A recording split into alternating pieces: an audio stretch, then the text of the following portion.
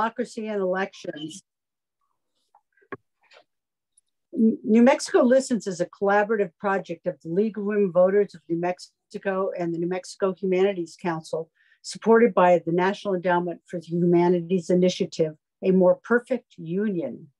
The Humanities Council will be posting the recording of this session on its website. I want to thank Bethany Tabor, our young, talented, and committed program officer, for her work on New Mexico Listens, including handling the technical logistics of this program. I'm Meredith Machen, a retired educator and policy advocate, education co-chair for the League and project director. Um, the League of Women Voters is a nonpartisan grassroots organization which works to protect and expand voting rights and strengthen democracy. We want everyone young and old, citizen and non citizen, to have the confidence, knowledge, and skills to participate through the year, not just in election time, in whatever way they can. It's not just about voting. Our increasingly fragile democracy depends on each and every one of us caring about what happens in our schools, communities, and workplaces. Over the past few years, most of us have acknowledged that uh, we're sticking mostly to our own circles. We're less likely to talk with others with different perspectives and to listen deeply about their concerns, values, hopes, and dreams.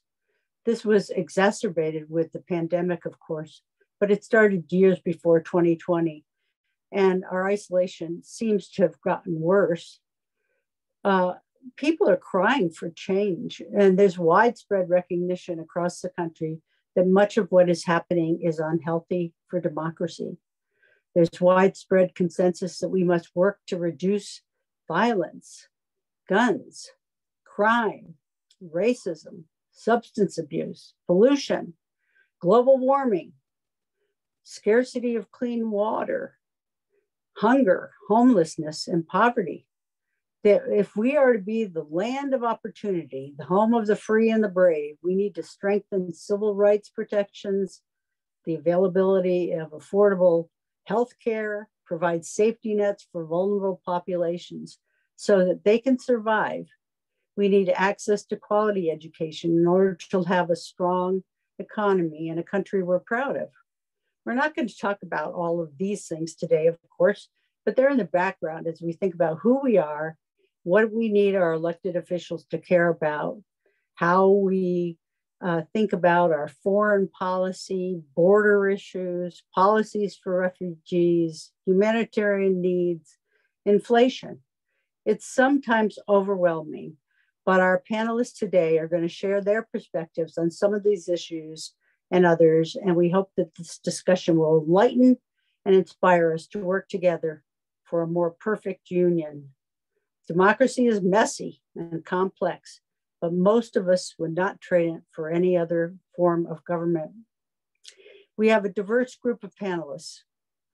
I'm going to say um, a little bit about each of them, but I'm hoping they will amplify and tell us more about what they do after I uh, introduce them.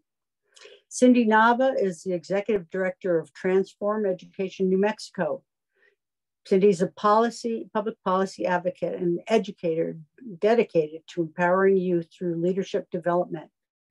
She brings an immigrant lens to her lifelong commitment to advance equity and opportunity.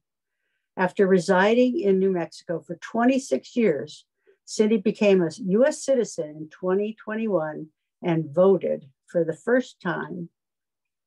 Regis Pecos, Cochiti, Pueblo of Cochiti, is trustee emeritus of Princeton University, the first Native American to serve on the board of trustees of Princeton, his alma mater. His leadership experience and policy expertise extend across national, regional, state, and tribal governments. Until 2021, he directed our state majority office chief of staff, and he was director of policy and legislative affairs and Regis continues to serve on several boards and advocacy committees. He co-directs the Leadership Institute at Santa Fe Indian School, which he co-founded. Dr. Finnie Coleman teaches American and African American literature, history, and culture at UNM and serves as president of Faculty Senate. For more than 20 years, he has worked as a higher education consultant, specializing in diversity, equity, and inclusion on college campuses. Prior to his career in academia, uh, Finnie served as an Army intelligence officer around the globe. Dr. Elaine Rodriguez chairs the History and Political Science Department of Highlands University, where she teaches American government, Southwest history and culture. Her politics, uh, her research and experience ranges from the impact of the National Voter Registration Act to Latino politics and culture. She brings new perspectives on sustainable uh, economic growth, youth leadership, and civic engagement through her recent service on the City Council of Las Vegas, New Mexico. Um, so before before we begin, I just want to say a little bit more about elections. Studies galore have proven that our elections are safe and secure, yet flimsy claims of voter fraud are being used to pass laws that suppress the vote. In some states, election workers and voters have been threatened Big money is controlling candidates. Panelists, what can we, the people, do to counteract the negative trends in our country and strengthen trust in each other and our institutions? So that's your first question. And I'd like you each, as you try to answer that huge question. We have lots of huge questions today. To say a little bit more about your work and how your work um, plays into strengthening trust in one another and our institutions. Thank you.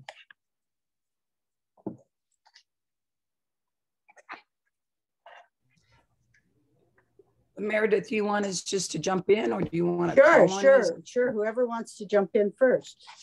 Uh-huh. Okay. Sure. I'll go ahead and start. How's that? Um, Great. I've been in the education IQ for 40 plus years. And I've worked at different universities with um, different types of students. And also being on the city council, um, I really have probably gained a better understanding of, you know, wh- where the kind of the average citizen sets on a lot of elections and public policy and their elected officials. And I've kind of discovered, and it's probably nothing new that we don't already know, right? Um, our electoral system is probably one of the most complicated systems um, in understanding, you know, how to, um, and we have a lot of different procedures. And this late, latest election was much more complicated because we did redistricting. Um, so many um, citizens who were in one district were changed and now there are new districts um, for the city, city wards, the school boards and state legislature elections that are going to be coming up. And what I've really discovered is one is, um, and I kind of have moved away because I came up in through a traditional discipline, political science, right? That's dominated uh, by white males. Um, and they define the rules um, to how we get tenure. Um, that has changed over time, but a lot of it you publish. You publish a book, you publish in the top tier journals. And I did that. And when I went back to my community and, you know, talked about that, you know, they said, well, what, how does that help our community? you know, you publishing in a political science journal that only maybe 2% of political scientists read, how does that help our community? So I really changed my perspective of, you know, moving away from, you know, uh, I do research, but now I engage my students. My students are the ones who determine what areas we're going to research. Um, they determine, you know, what are the major issues in their community, and we work to research that. And then they report to the city council or to the state legislature their findings. Excellent. Um, yeah. The other thing that I thought was very important is, and we're in the process of doing right now, we're doing a couple of things. One is, you know, city council, and we all know this, any elected official, you know, you get campaign funds, you kind of respond to the loudest people or the most squeaky wheel. And I noticed that a lot of our Hispanic um, residents would never complain. They never complain. You know, um, so I worked a lot on the area that was the most neglected and brought a lot of the budget to that area. But I didn't get reelected, and it gave me some insight to how elections are operated today.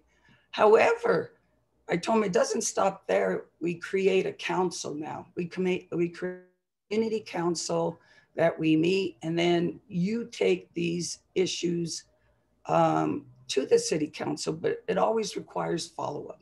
Right, right. Okay. Thank you. That really yes. helps. And we come back to your students and action research and service. And uh, it's so important. You're talking my exactly what I've always insisted uh, is that the, the, importance of educators is to make a difference in the community and um, absolutely. Uh, who wants to jump in? Cindy, you want to take a take yes, a chance here? Okay. Yeah, thank you. Thank you, Dr. Machen. Um, hello, everyone. First of all, just thank you for joining. Um, it's great to see so many of you here. I know I see a lot of familiar names. Uh, buenas tardes, and thank you for sharing your a bit of your Sunday with us. Um, I know it's not necessarily the easiest thing, but I think the conversation is important. And thank you for the invitation, Bethany and Dr. Machen. Um, it's really great uh, to be here with you all. I'm Cindy Nava. Again, I think I know a whole lot of you. So I am I'm an immigrant. Uh, was brought here as a kid, seven years old, uh, from Chihuahua, Mexico. And essentially you know i know nothing i grew up to know nothing beyond new mexico because of the very restricted life that i had to go through. I ended up doing policy and politics and then nonprofit leadership. Um, and everything has certainly aligned but i think it's tr- it's absolutely been because of so many of you opening doors for so many folks like myself um, but in the world of, of advocacy and policy uh, especially when you talk about voting and being someone who never had the privilege to vote um, until one year ago today. Well, not today, uh, in February of this year, uh, I was able to cast the first vote of my life last year. Um, and that was transformational beyond measure. And I can't reiterate the importance of what that means. But I would be remiss to, to, to not mention that as an immigrant and as immigrant communities, um, those communities hold a lot of power and casting a vote is not the only way for them to be engaged um, because i did it for over 15 years.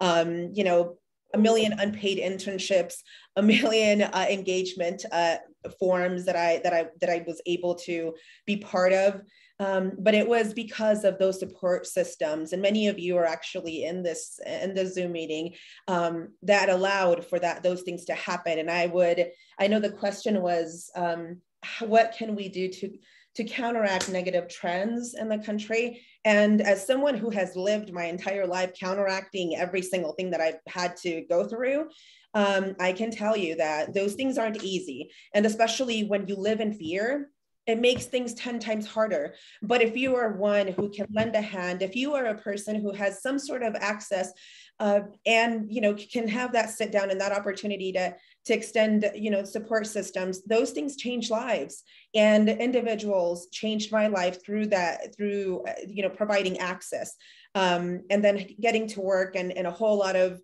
of campaigns uh, with really great candidates and a lot of great folks, both in the nonprofit and in the policy and political area. Um, those things have changed not only access, but they've also allowed me a space to speak and to tell my story, which can be the most frightening thing to do, especially when you're undocumented.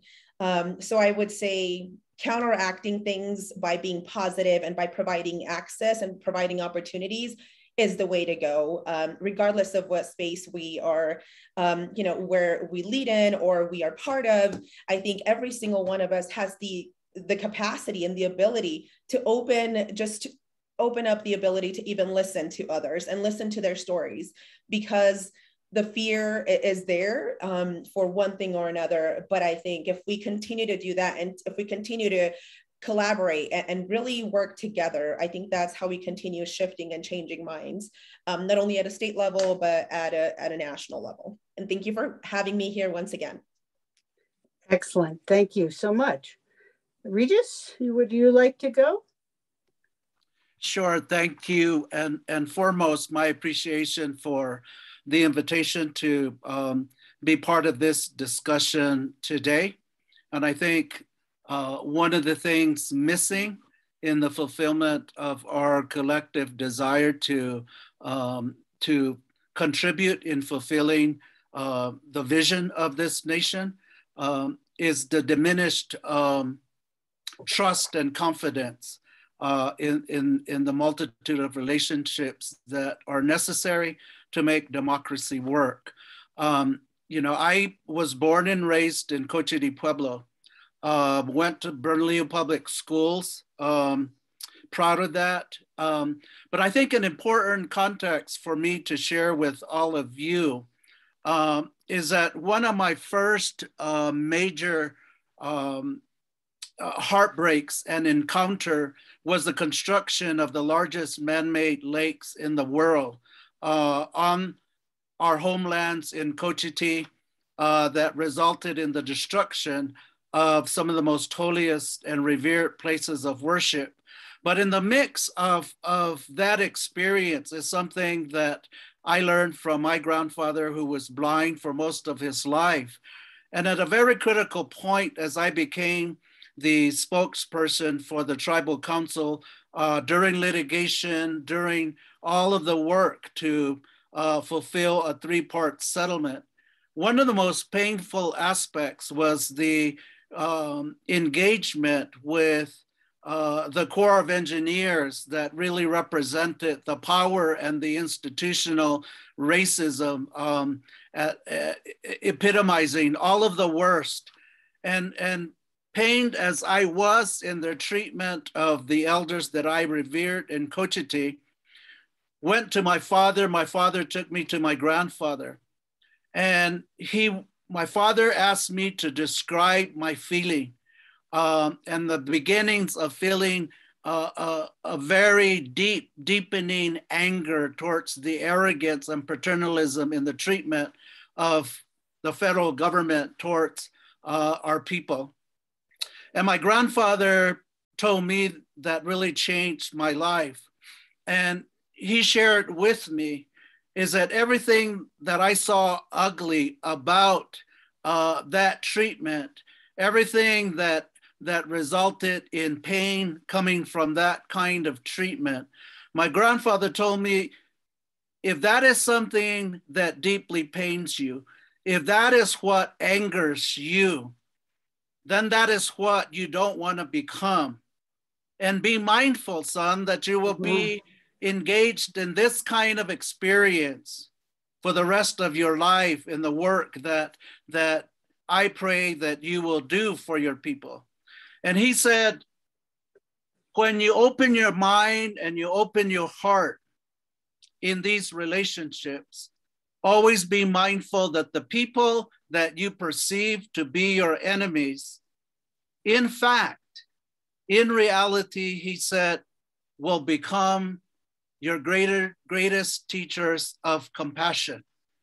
And wow. so that was really um, something deeply embedded in my mind and, and in my heart that as I pursued my work in, in public uh, at the tribal level, uh, at the state level, at the federal level, building trust and building confidence uh, with those things that contributed in building a common agenda.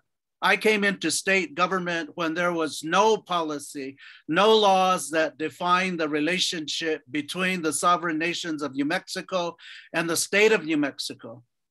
And so all of my lifetime work has really come from that single teaching that really engaged me in some of the most complex areas of intergovernmental relations. But that has always been at the heart of the approach in everything that I do, always with a sense of optimism, because in the most complex areas, whether it was about protecting water or land or a way of life, our cultural resources, language, or culture, it always was something that resulted in a reality that ultimately became a bipartisan approach. And so that really defines my optimism that even as ugly as this world can get, we can never give up working towards a spirit of cooperation and collaboration and it's a difficult road to travel when you're marginalized, super marginalized as Indigenous peoples are. But the work must continue. And in my lifetime of work, I found ways to build trust and confidence to be at the heart of building a common agenda and building relationships to, to reach the kind of desired outcomes that come from mutual uh, respect and mutual articulation of the things that we desire for our children or grandchildren, for all people. And so uh, just want to provide that context as yeah, difficult as things have been, uh, that has been central. And I think that's a very important part in our collective work moving forward. Thank you. Right, right, exactly. I mean, the anger, you know, is the motivator, but you can't stay in that. Yes. Uh, Finnie, you have so much to contribute. Uh, I think you're still muted. I, I am. Um, it's always good to participate in these types of forums, and it seems I, I have a habit of following right behind Regis. That's always a tough, uh, tough thing to to do. Um, you know, I think as I was listening to my colleagues' responses and and thinking about, you know, how to respond, you know, with intellectual honesty about the question that you ask, um, you know, the, the, there there's some fundamental truths that I think I see um, at work um, that really are informing our politics today in the United States. And some of it has to do with remarkable intellectual dishonesty, um, the inability to to um, embrace the truth as something that is uh, factual as opposed to something that is partisan. So that if you have a position or you have a reasoned position, that somehow it doesn't matter that the position itself is rooted in fact, it is somehow seen as being left or right, Democrat or Republican. Our forum today, of course, is a nonpartisan forum, and the idea is to, to, to discuss the problems that we face um, as, a, as a nation and how do we rebuild the trust that has eroded. And I think that begins with being brutally honest about the truths that have led us to this moment and not sugarcoating it and not backing away from it because we're afraid somehow that uh, one political party on the left or the right might disagree or agree too much with what it is that we have to say. There's some things that are true just because they are true. You know? And until we can, you know, make it safe for us to have ideas and to express those ideas without being lumped into categories, uh, and that's where we're headed. That any utterance is seen as somehow a sign of your political alignment. Um, gone are the days when uh, liberals on both parties could come together to talk about issues, or conservatives from both parties might come together to discuss platforms. Now we have rooted in our country, and this begins in the 1948 election. Um, and you know, and unfortunately, few so very few of us know what happened in the 48, 1948 election, in the 1968 election, that are simply maturing in our historic moment. Um, and in 1948, we saw the galvanization of our politics along ideological lines as opposed to platforms, so that if you were in this particular party, every position that you held had to be either liberal or conservative. And I think that kind of dumbing down of American politics um, is at the root of where we are today. So that it's very difficult to have discussions about issues when they're rooted in ideology as opposed to fact. So, I mean, I have a lot more to say there, a whole long lecture about, you know, that shift. And we saw that shift from 1948. African Americans uh, voted largely um, Republican.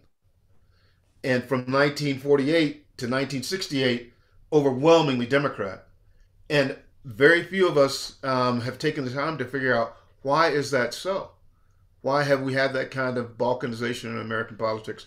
And without that intellectual curiosity, I think we're in trouble. Yeah, absolutely. And I hope we can come back to uh, the social studies standards and civics education. Um, and because, you know, I think we have a lot to be proud of in this state uh, and uh, when we think about what's happening in a lot of states where these discussions are not being allowed in the schools.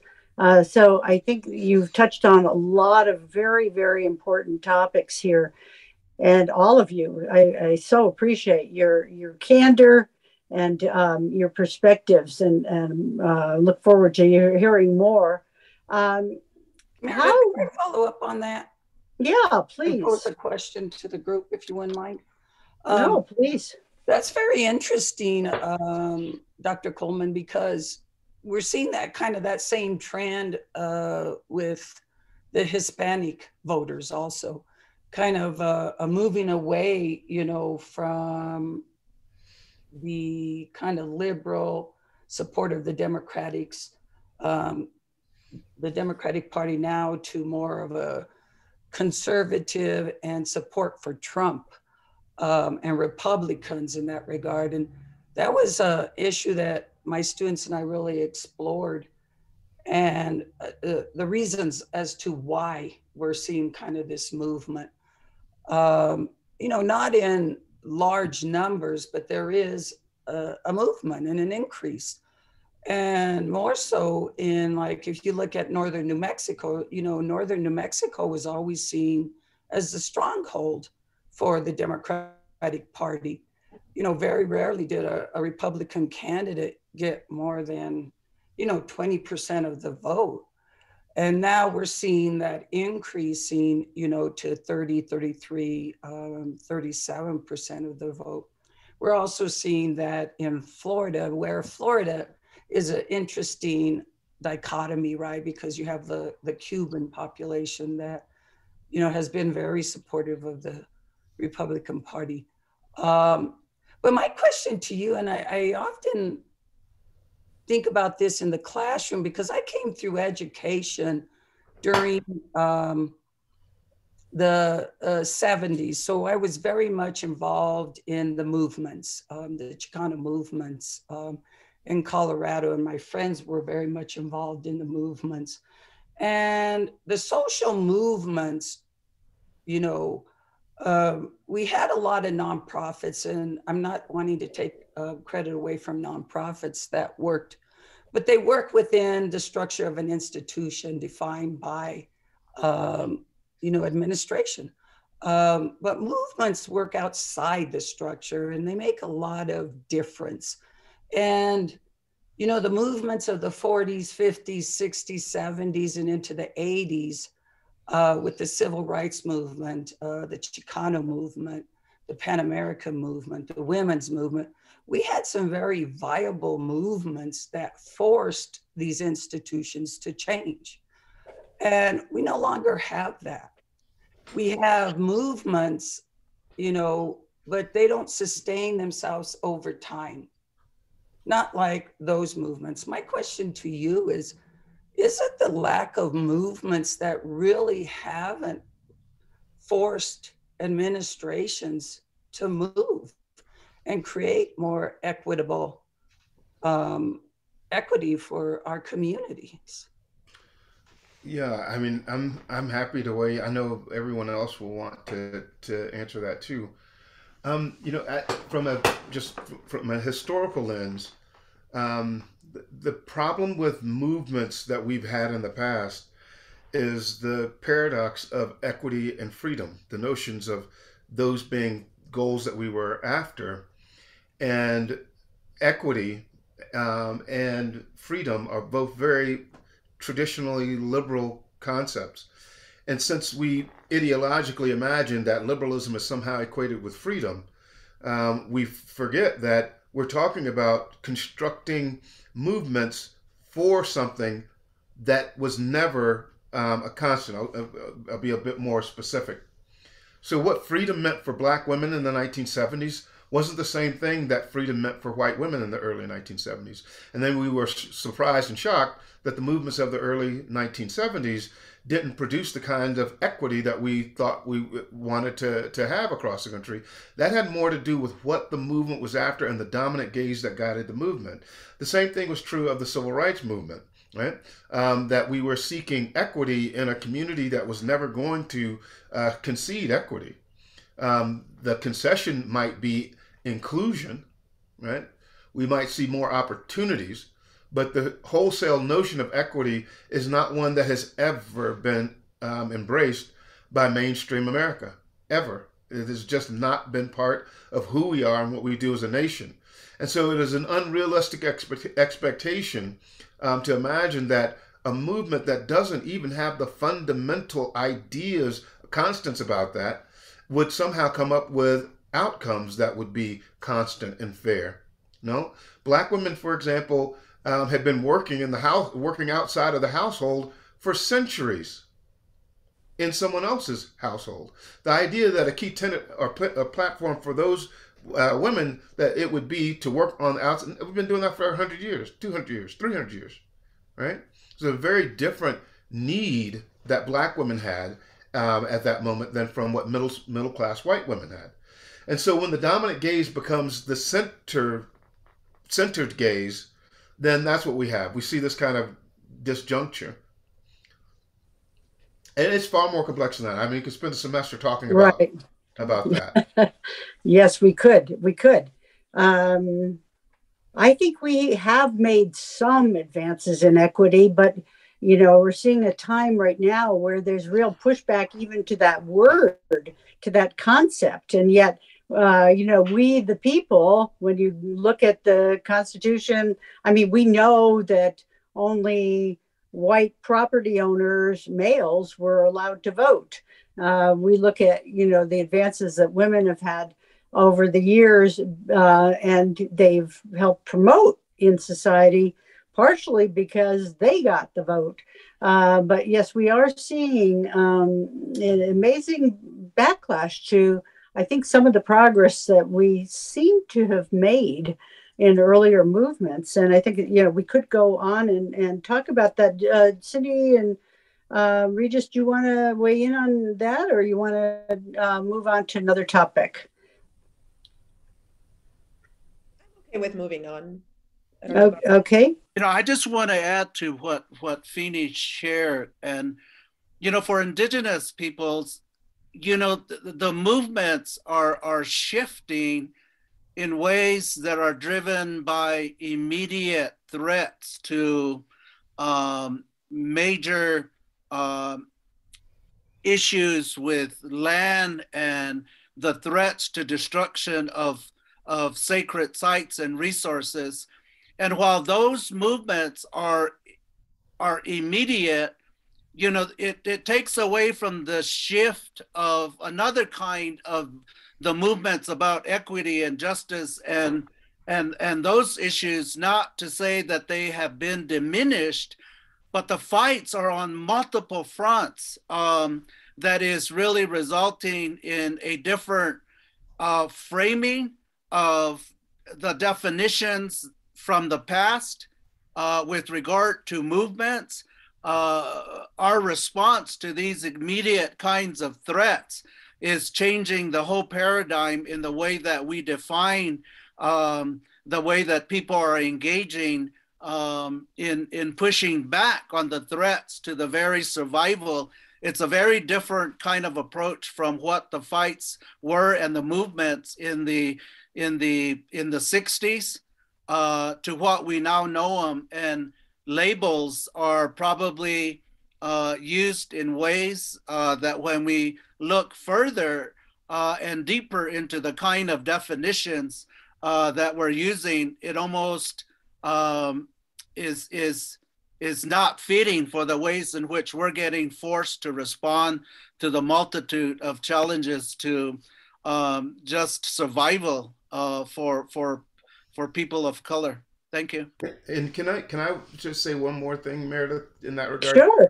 Um, you know, I would encourage us to um, to develop a more sophisticated vocabulary about these terms. Um, if I give my son an apple and I give my daughter half of an apple, and my daughter turns to me and says, "This is not equitable," right? Um, the only place, the only way that I reach equity is when both of those children have an apple. I can't give my son three quarters of, or my daughter three quarters of an apple and call that equitable or progress. Yes, you're getting more of a, a you're you're getting more apple than you had in the past, but it is still not equitable. I want us to Right. imagine and think about equity as a binary as opposed to something that's um, progressive. We might have we might look at you know progressivism um, in terms of um, inclusion, more inclusion than in the past. I, I I see that, but when we start talking about fundamental notions of equity, equitable there that we we don't advance in equity, we achieve equity. Does that make sense? Yeah, Um, yeah. Absolutely. Yeah, absolutely. Yeah, you know, uh, my daughter's 37 and she and um, a lot of her friends, and I hear this a lot from Gen Z as well as millennials, eh, are saying, you know, it's the parties that have destroyed things, and we've got to move away from the duopoly. Uh, and you know, we a lot more young people are registering as decline to state or you know independence, and uh, we've opened up the primaries a little teeny bit this in New Mexico, but um, yeah, I'm wondering, uh, you know, is that the answer to move away from some of the party rhetoric that helps to polarize some of the attitudes? Um, uh, and, and what do you think about opening the primaries more and getting away from the influence of the parties? Well, Meredith, to follow up with um, Dr. Coleman, it's really teaching a whole generation. Um, you know, the millennials, because I work with a lot of the millennials, and many of them don't even have a, a understanding of the social movements. Many of them don't really have a good understanding of the history, the social movements, and the cause. Um, and and it's teaching a whole generation. So now, you know, I work with my grandchildren, and as um, Dr. Coleman said, you know, it's teaching equity. You know, my son doesn't get to, uh, my grandson doesn't get the whole apple. My granddaughters only get half the apple. You know, it's really like teaching equity and getting them to understand equity. So as they grow up, they instill that in their friends, their cousins, their community. So it really does take an, another generation or two generations to move beyond these barriers. Yes, yes. Um, I saw Doris Page um, say an important distinction. Uh, let's see, uh, where is it? Something about uh, wealth gaps are widening as the opportunity for home ownership are diminishing. Witness the percentage of homes today being purchased by corporations and hedge funds, resulting in cities of renters.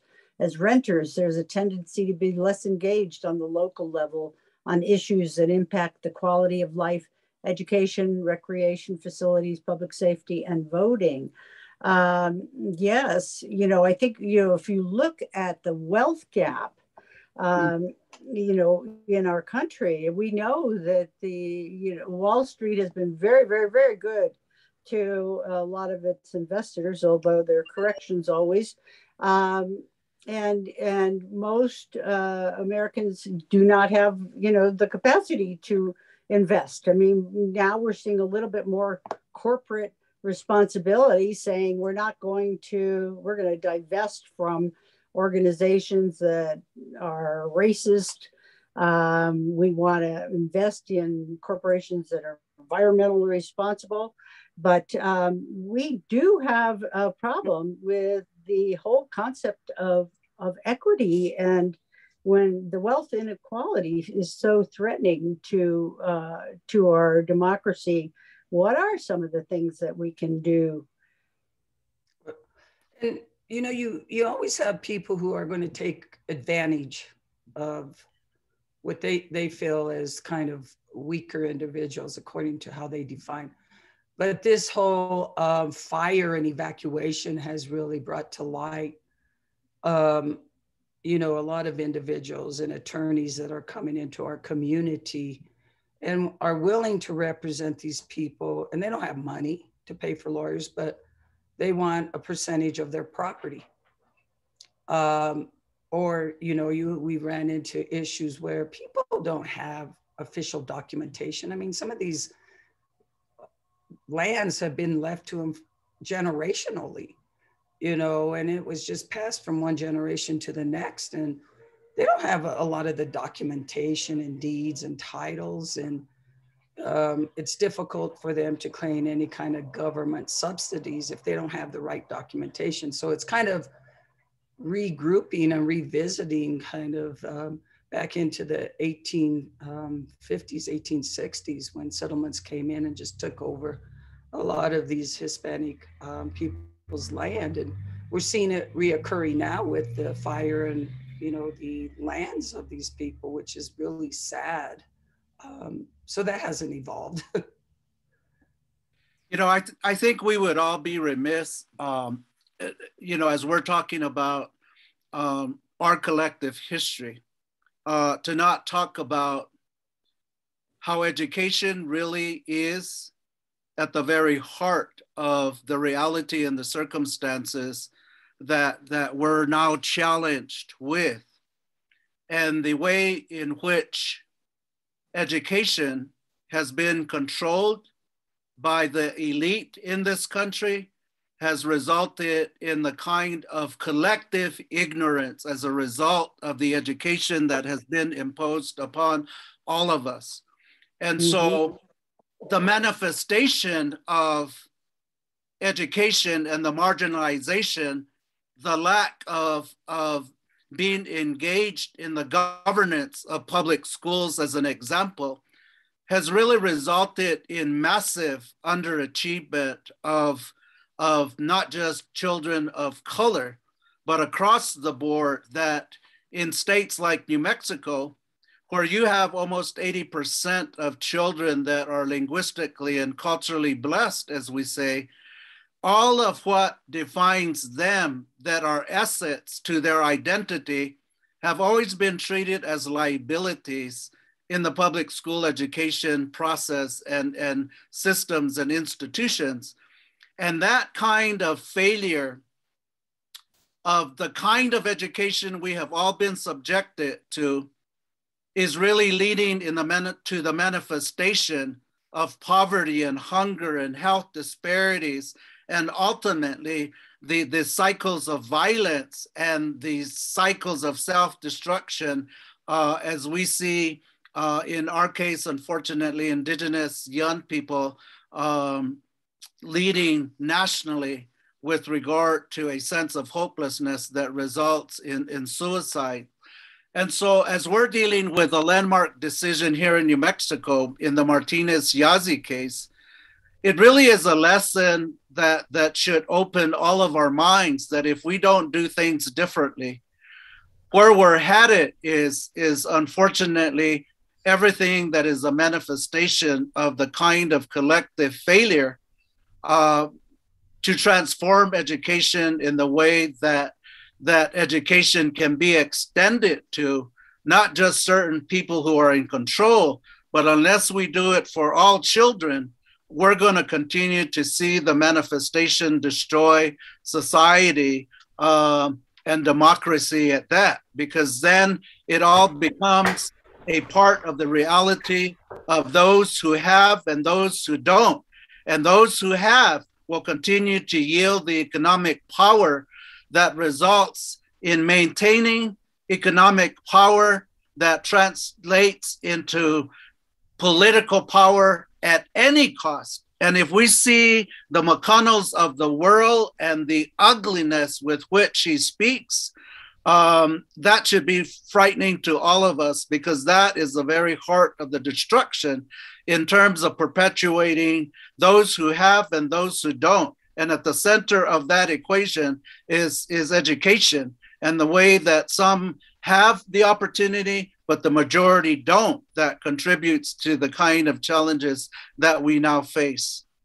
Here, Thank here. You. I think the greatest threat that I see, and I know we're all educators here, and maybe I have a slanted perspective, but the, the threat to our democracy by underfunding education, by you know movements to privatize education, uh, to not allow things to be taught or talked about in education.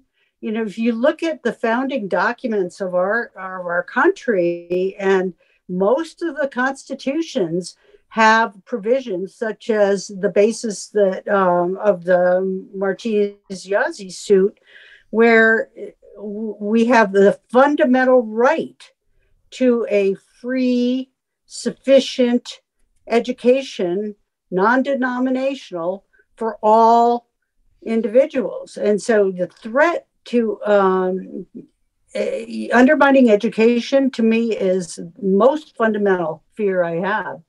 Um, Cindy, I know you work Transform Education New Mexico. This is your bailiwick. What do you have to add to that comment? Meredith, thank you. I think just even just listening to the conversation and um, I see sort of two lenses coming through really strongly.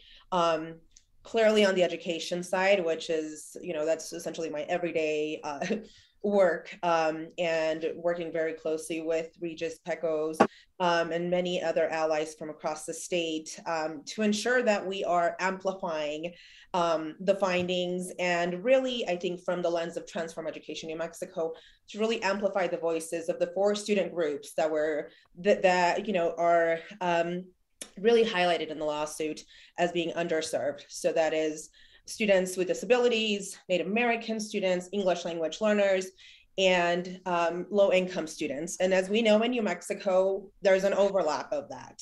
Um, so really, really focusing on ensuring that we uplift the power of that collective action and what that can become.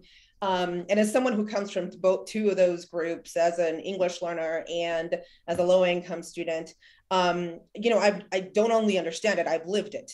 Um, and then I think you asked about, you know, parties and the engagement, but I think beyond party lines, I think the bottom line is we should be focusing on the necessities and the needs of the communities that we that we represent and that we live within. So in a state like New Mexico, what are the issues that are affecting our communities?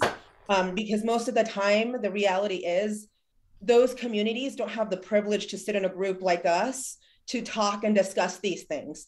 And my parents would not have the ability to come and sit on a Zoom call because they have to either be working construction or cleaning homes for, for other folks. So I, I've always reiterated it and said, you know, there's a huge sense of responsibility when we have the ability to sit and discuss these things and have the really a really long extension of our reach to ask those individuals what they absolutely need every day. I mean what what barriers are they are they facing? Because they don't have the privilege to sit in rooms and, and change policies or you know really collaborate in forums that we have access to.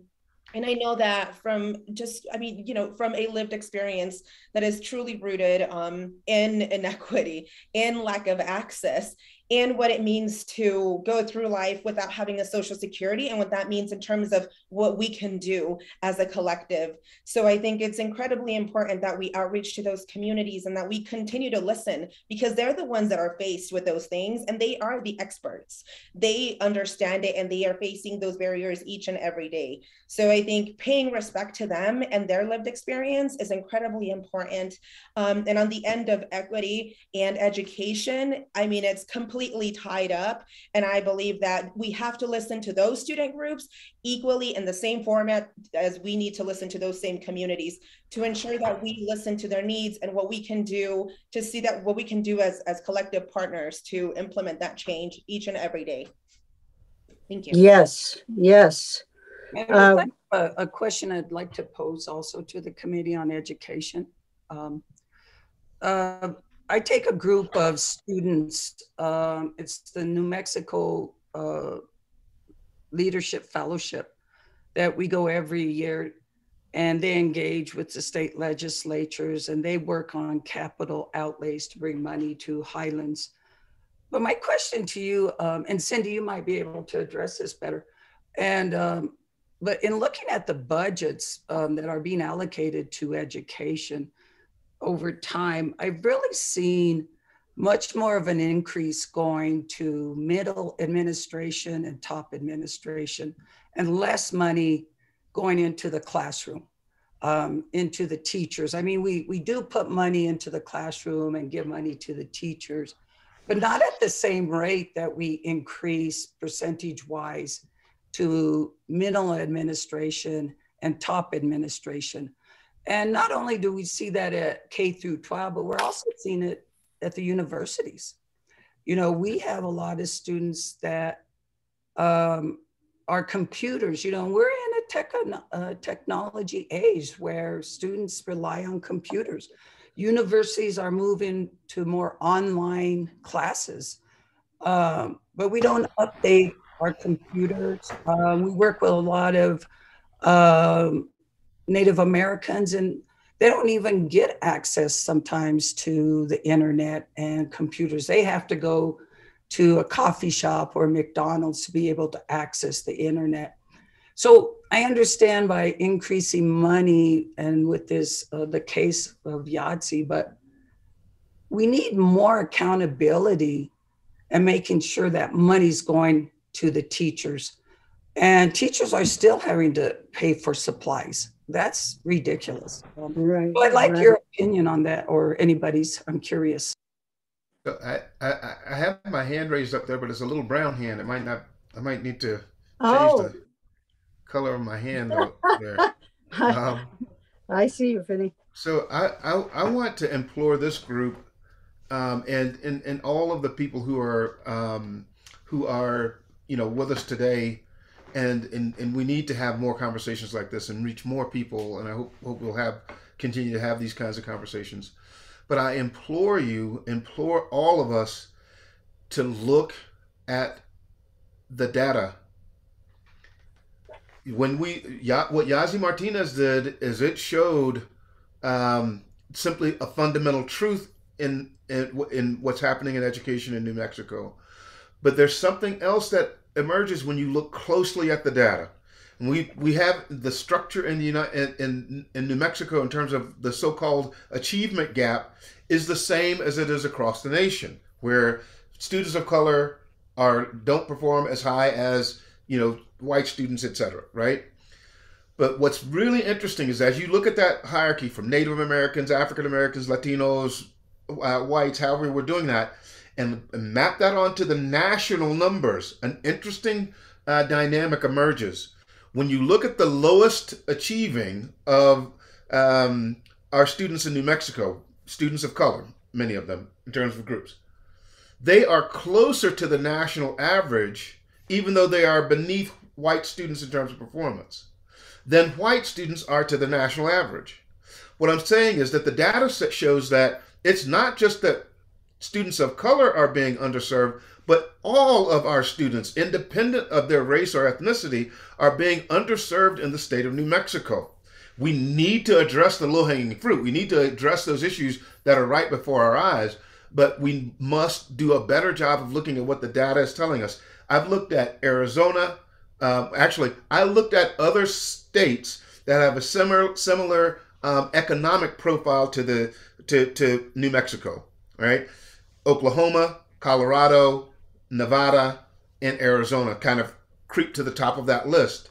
And when you look at the, look at the differences between what we're pro- providing for our children and what's happening in those other states, uh, Utah in particular is doing an outstanding job in many respects. There's one major glaring difference: accountability is um, held. Accountability for what happens in the classroom is a function of our electoral system and not an appointment by our, our government. That's the signal difference between us and those other states. It has to do with accountability at the local level. Um, and it's, it is, of course, a resource problem. Um, but we, our profile, our economic profile, is close enough that we should be having similar similar um, outcomes to other states, and we can't blame it on the teachers.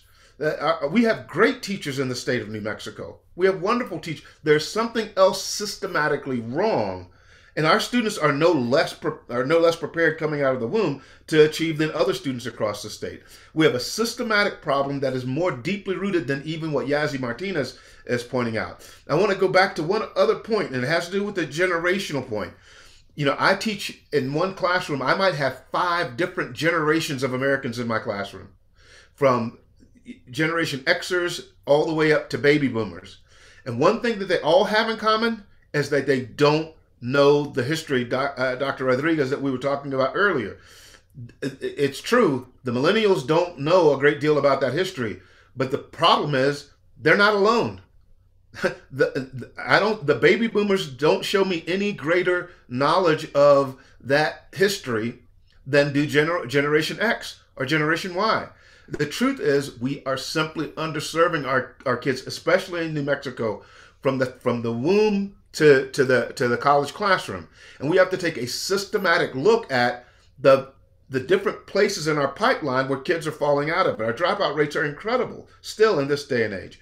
But there are things that we can do, but it takes a different kind of vision than what we've had so far. It requires a vision that goes back and doesn't blame our teachers for what's going wrong in the classroom, but tries to figure out what is happening systematically um, that's leading to the kinds of outcomes that we see in the state of New Mexico. And I believe we can turn it around. It has to do with accountability.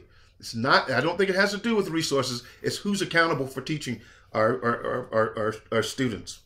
You know, one of one of the most fundamental um, disconnect to everything that Finnie is saying. Everyone should be appalled on this call and beyond that we have no articulated vision, nor do we have a comprehensive education plan. Imagine that in the last, last session was the state's unprecedented surplus of revenue. And in this coming session, there will be an equally unprecedented surplus of revenue. But imagine the amounts that are now into the billions of dollars that are being invested is without a comprehensive plan. So that the reality that plays out in the legislature, where there is no plan articulated, individual legislators then result in pushing their own agenda, but those individual strategic moves of investing millions of dollars are not strategically aligned to any comprehensive plan. And so if there's something that that we must do is is really to speak to Finnie's point and, and really demand a comprehensive education plan so that we can hold people accountable, so that we can measure the investments and the outcomes based on the findings in this landmark decision articulated in the development of policy defining programs and defining new laws to be enacted or amending laws that exist that are aligned with this landmark decision and findings in Yazzie Martinez. But since 2018, we have yet to see those fundamental connections that then builds upon very strategic investments to measure how we are meeting or whether we are meeting benchmarks that are so fundamental to address the findings in this landmark decision. Thank you. Very good. Absolutely. This is Elisa. I, I just, um, uh, Mr. Pecos, yeah, we do have a vision. And Dr. Coleman, our vision is that we think we're New Hampshire. We aren't New Hampshire, we're New Mexico. And we are a minority majority state. 70%, just Native American and Latinos make up 70% of the school system. Now, if you add Blacks and Asians and all the other minorities, we're probably up to 75, 80% of the population. And so we still pretend like we're somebody else. When are we going to use? And I absolutely agree with you and Dr. Coleman. The thing is that we don't, until we acknowledge who we are and the needs of our community and that representation matters during this last legal, the, the last uh, session, when there was all this money, I wrote to several of the legislators and I said, why can't you take, you know, a million dollars and buy books, just books that represent who we are, that tell our stories, that would fill the classrooms. And basically everybody said, oh, well, you know, that's not my issue. I'm, I'm with wildlife and I'm with climate change. These are our leaders. If we had, you know, representation matters. We need to see ourselves. You know, the last time I am 81 years old, the last time I saw myself reflected in the classroom in a book was in the fourth grade. That was probably down in the 40s sometime. And I never saw one year and then I disappeared. And our kids never see themselves in any way, shape, or form. That needs to change. Right. Elisa, thank you very much. And I know you've served on committees. I think we could we could spend the rest of this time together on education. And I think, you know, our commitment to getting this uh, comprehensive plan that Regis was talking about is so, so important we have got to say New Mexico has the funds and it has to have the accountability so that we can move on and actually implement the, the visions. Um, you know, we have just as much potential as anyone. We don't want to be 50th anymore. We won't stand for it. Um, well, yes. Like you said, it's really our, our governor too. And uh, whether you like Governor Richardson or not, this isn't the point. But if you look at his policies, during his time, we had surplus money. And similar to how we're moving into this, um, you know, next year. And if you look a lot at a lot of his policies and what he pushed through the state, they were very expensive. Um, the rail runner, which really doesn't create a profit, but we know public transportation doesn't really create profit. Um, the shuttle, we're still in debt for the shuttle. Maybe in 2040, we'll start seeing some profit come off of that. The movie industry, they made deals with the movie industry where we don't really make much of a profit off of that. Um, so because we have a surplus of money, we really have to implore our legislatures to invest um, in our communities and not in policies or in projects that aren't going to bring back to our community. Right, right. I'm, I'm um, broaden out a little bit, um, you know, to the whole country I think in many ways, New Mexico is a model. Um, even though we are at the bottom of every indicator, you know, if you look at kids count, you know, we look at child well-being and we look at education and all of these different things. In some ways, we're talking about the right issues. We're getting, I think, you know, we have consensus more on um, where we need to go and our failings. And there are lots of things that we need to improve. Um, on, you know, I, I just want to move out to uh, the larger picture about elections and um, w- what does, for instance, the idea of e pluribus unum mean to you? You know, we're we're at a particularly polarized uh, time in our 245th year as a nation. Um, you know, we're we're looking at possible decline of democracy. Uh, we're watching, you know, we're watching people uh, lose trust in our major institutions. Um, we've seen many, many eras where people disagreed, but they were able to like say, okay, people think differently, and they didn't. It didn't end up in violence and um, and uh, you know, I think uh, Regis brought up the idea of youth suicide and depression. We're seeing it in every ethnicity, not just Native. You know, the we have a responsibility to the youth to bring a better country. So how do what is you know the concept of e pluribus unum mean to you? How do we um, work on getting people to move out of their bubbles and uh, you know use civil uh, civil discourse in talking about policies that will help to make our country stronger and work on our common interests? How do we tone down the arguments what have you done? I know all of us are teachers in, in certain ways, but what are we going to do um, with the threats against free speech, with, uh, you know, the threats against teaching our, frankly, our painful history? Um, so, who wants to jump in on some of those huge topics? Mm. Meredith, I'm going to say that we have about 20 minutes left. So maybe this is the final question to the panelists and we can, and um, after they respond to your, this question, we can maybe open it up. Okay. Who's somebody started to talk? Was that Finnie?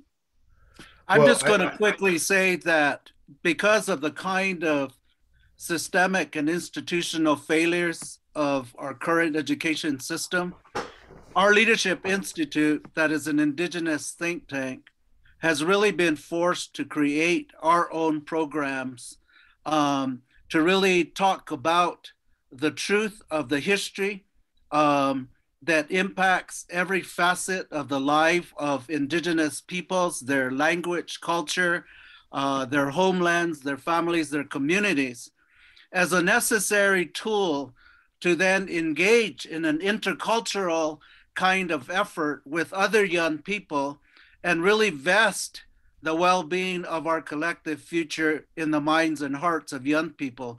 But that shouldn't have to be necessary, but it becomes necessary because the systems and institutions are failing society, generally speaking. And so it makes us or it forces us to respond in our own ways. But I just want to very quickly say that we're investing tremendous amounts of time and energy in creating programs for young people and from an intercultural perspective to really um, to, to really nurture the minds and hearts of young people and hope that their generations really will be a major contribution if we ask ourselves what do we want most uh, that all future generations inherit from us? Um, you know the core values of having love and respect and compassion at the center of that kind of contribution is our focus. But we, we have been compelled to respond to invest our time and energy in young people. Thank you. Yes. Finnie, were you going to add something? Well, I was going to point out that Dixie's had her hand up for a, a minute. Um, Dixie. Okay, Dixie. Oh, yes, Dixie.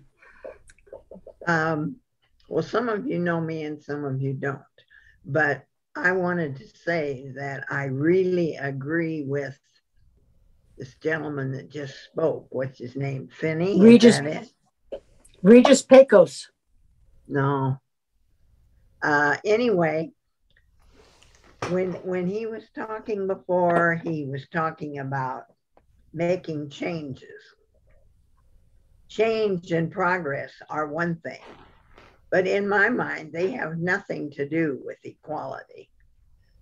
And so when we're setting our goals, we shouldn't emphasize so much on change and progress as we actually just come right out and say equality. Because I remember when I was living in New Mexico, which I did for 13 years, and I ran for office, and we had a, a thing um, where they asked us questions. And the question was, What about you does nobody else know? And when I told them what none of them knew about me, they all kind of gasped because uh, they knew me as a person who who thought everybody should be equal. And the thing that they didn't know about me was that I was the only white person in my father's family.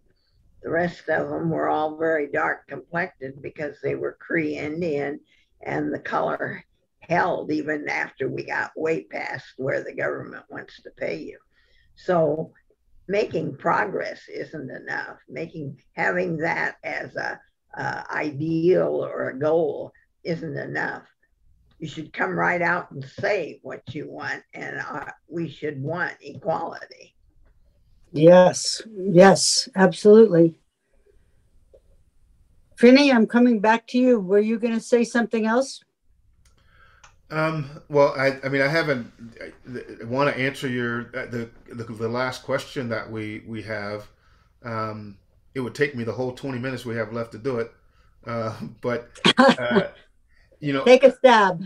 I'll take a stab. You know, so um, e pluribus unum. You, I mean, that comes from the poet Virgil, and in 1956 that no longer what became uh, that no longer was the official motto of the United States. We moved from that to "In God We Trust." Oh, Um, and so "E pluribus unum," you know, out of many one. Actually, if you look, there's some bloggers out there. You'll find that it's actually the recipe for a salad, right? Recipe for it. It wasn't in his poetry. It was in how you mash pesto together to make put all these different ingredients together to make this one in this one dish. um, and so when we think about that, when we go back to E pluribus unum, that was first, you know, Franklin, Jefferson, and one other person, I can't remember the third person, proposed that um, uh, to be on the national seal. And, but at the time, the three of them, out of many, one, they literally meant out of many European males who hold property, that all of them could come together to form one. When E pluribus unum went into effect, it did not include women, it did not include Native Americans, did not include blacks, right? It included the humanity that the founding fathers thought could come together to form a whole. And it's that fundamental um, understanding of our history that is at the root of some of the threats to our own um, uh, progress with our children and teaching them.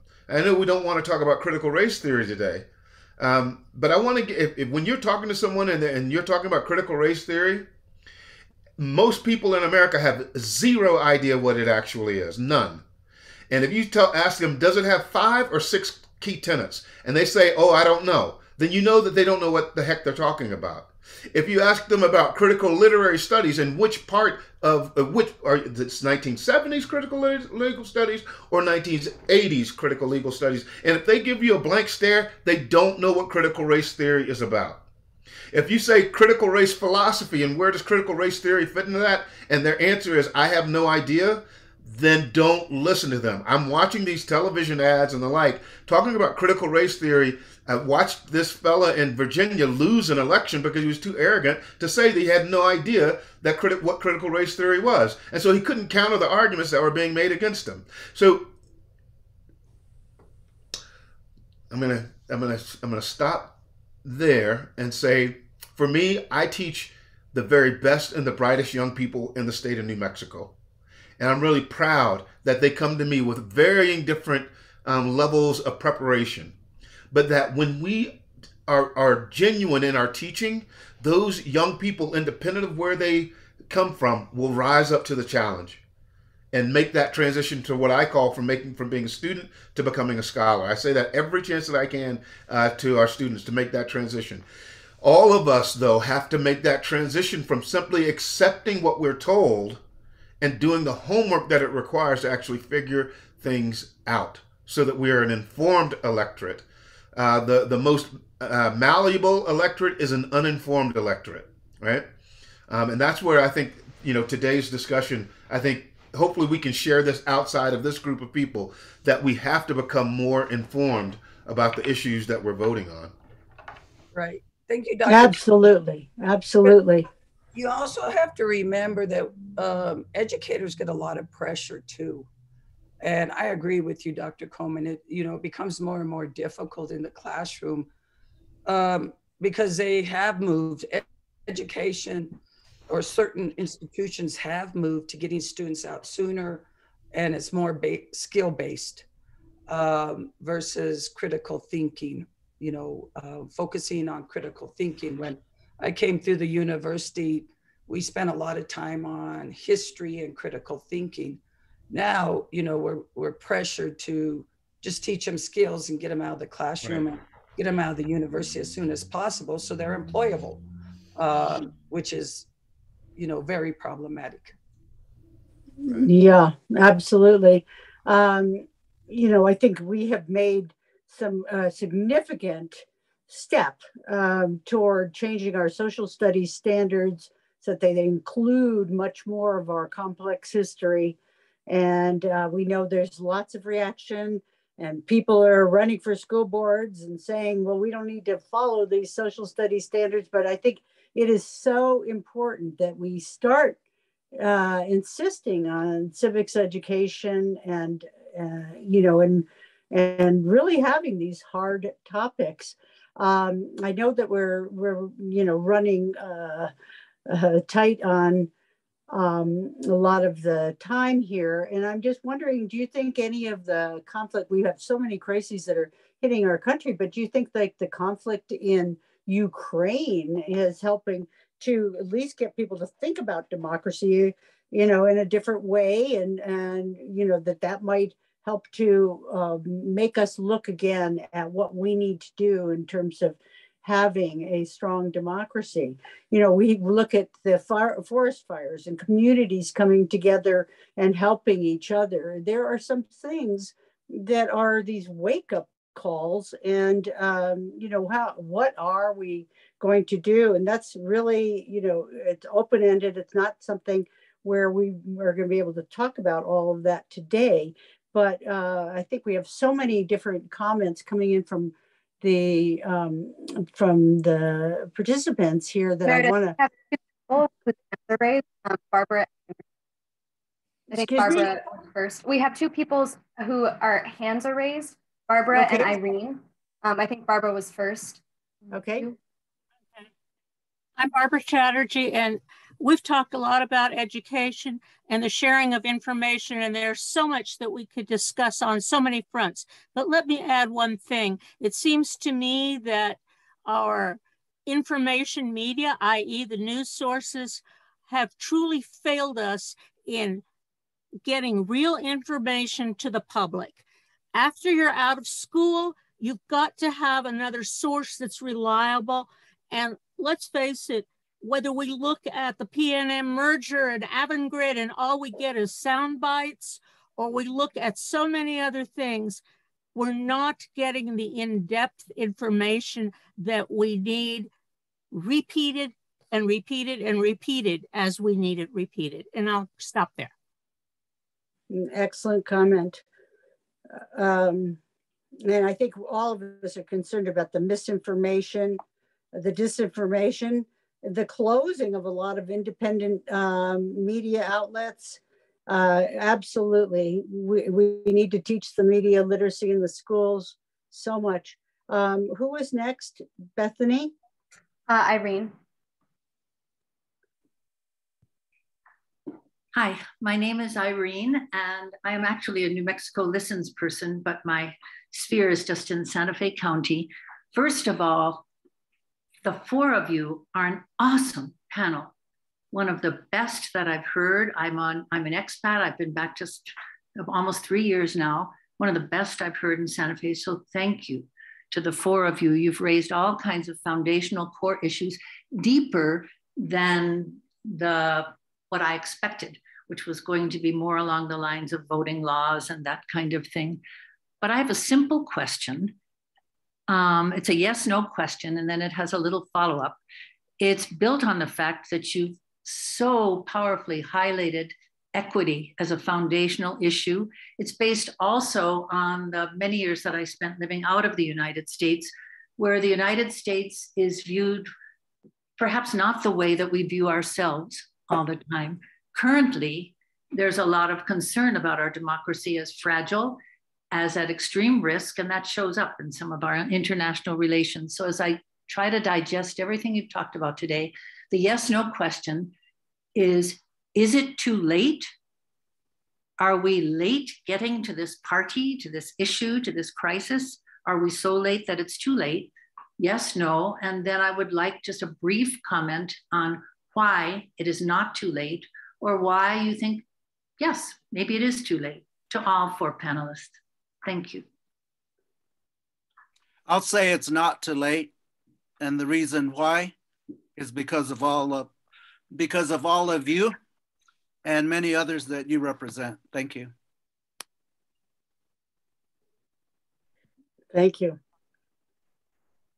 Irene, thank you for your for the question, and I would say it is not too late um, because we have resilient communities, and I think the power stands within them, and I think it's it's in our power to come together as diverse people and diverse communities and unify all of that wisdom and all of that strength to continue fighting the fight because we all know, I mean, there's just no end to it, and I think if we unify, um, really, that's that's how we continue. Thank you for your question. I that's an interesting question. I mean, I can really think about it that a lot, but I can only base it on what I see and what I kind of experience and in the classroom with students. And I think often that could be um, also uh, gendered, you know, and not only gender, but it, it goes along with a sense of privilege, you know, and and I have like a, a, grandson that's eight, I have a granddaughter that's nine, and then I have one that's five. And my grandson, and I don't know if it's innate or if it's the way we behave around them, it, he just automatically assumes that he has more privilege than my granddaughters. And I'm always having to correct that and say, no, you know, we go back to equity. So and I don't mean to define it by gender or age group or race and ethnicity, but I think it's our society and how we address females and males in our society. And I think if we could work on more equitable ways of addressing that in our society, I think we could achieve much more equity for our, our girls. Well, it looks like I'm going to be the outlier because I think it is not just too late now, um, but I think it has always been too late to do what we've always done. And that is to have the kinds of conversations that we're having about difference and about change, but not having everyone at the table. When, you know, lesbian, gay, trans people are excluded from conversations, when people who are poor are excluded from conversations, when people who are black Latino, whatever uh, race or ethnic ethnicity is excluded from the conversation, then yes, it's too late. But it was too late before you got started. Um, it is not too late to bring those people together and to have honest and open conversations about where we need to go. As long as we continue on the path on the path of what we think needs to be done, we're always going to be too late. Could I could I just say one thing then? Um, thank you, Dr. Coleman. Um, what what would be your thought on getting more people at the table? You have to go sit at their table, and we if if they're expected to come to our table, that requires some logistics that we often don't have culturally and socially. What we have to do, and this notion of equity and empathy, I know people go, What are you talking about? Empathy is one of the worst things that's ever happened in American society. Because what empathy does is it allows you to walk in someone else's shoes, but it doesn't force you to understand why in the world would anyone be forced to make that walk. That's what we need. We don't need empathy. We don't need sympathy. What we need is people of goodwill coming together and decentering themselves and what they think is the most important uh, thing and figuring out what other people need as opposed to what we uh, collectively, that's always been an exclusive we needs. Wow. Um, my gosh, um, we are virtually out of time, and I want to thank all of you panelists and those of you who uh, uh, asked questions and we were monitoring the chat. Uh, I think you have definitely increased our understanding of the power of engagement and also the complexities of the major issues that are facing us. Um, I think so many people on this Zoom care deeply and are leading some of the efforts to empower our democracy and empower voters and non-voters alike. Uh, you know, and I, I thank you for your leadership. I thank you so much for helping us to influence policies so that we're making progress because I, I think you know we have we can't give up we can't give up at this point um, I also want to mention we're in the midst of our primary election. We know that we're soon facing one of the most consequential elections, uh, well, in 2022 midterms and also 2024. Um, we've got to get out the vote. I hope you'll encourage everyone not to give up, to look for candidates who they think will best represent their uh, their interests and the public interests. Um, I want to point you to the vote411.org, the voter guides that are available for all the communities in, in New Mexico and most uh, across the nation. Voter vote411.org. Um, the League of Women Voters asks questions of candidates so they you can find out exactly where they say they stand on issues. Um, it's very important to everyone to keep on doing what you're doing, uh, protect our democracy. Thank you so much, Bethany, for uh, navigating uh, this, mm, all the logistics today. And thank you, participants, and uh, fare ye well. Appreciate it. Everyone for coming. This recording will be on the internet um, after this, um, and we can send it out to all of you. Thanks for attending. Mexico, Thank you, Meredith. Thank you. New Mexico Humanities.org. New Mexico Humanities.org. Thank you so, so much. Thank you. Thank you, Bethany. Thank you all. And happy birthday.